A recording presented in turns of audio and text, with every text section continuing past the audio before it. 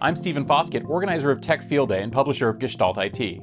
I'm excited to announce our first ever Edge Field Day event, February 22nd and 23rd, and I hope you can tune in live or watch the recordings. Here's a quick overview of what to look forward to. IT has always included applications running at the edge, but infrastructure and platforms designed for use outside the data center are rapidly rising in importance. From Kubernetes and orchestration to networking and storage, we're seeing a whole new category of products for the edge.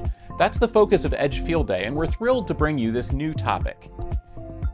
The event is broadcast live at techfieldday.com and LinkedIn starting at 8 a.m. Pacific Time on Wednesday. We'll have company presentations and delegate discussions all day Wednesday and Thursday, Here's a quick look at the schedule. Edge Field Day begins with Avassa at 8 a.m. Pacific Time. Avassa provides an application centric platform for container management at the edge. In their session, we'll follow a platform engineer and an application developer on their quest to orchestrate and monitor containerized applications on edge infrastructure. Next is Scale Computing, our host for the day, presenting at 10. Scale Computing is a market leader in edge computing, virtualization, and hyperconverged solutions.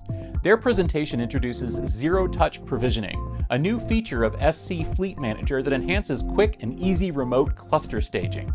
We'll hear from Mako Networks, a first-time field day presenter at 1.30. The Mako system is a PCI-certified, cloud-managed, carrier-independent networking solution that makes it easy to connect and manage thousands of global sites in a high-performance business network that is secure, reliable, scalable, and cost-effective.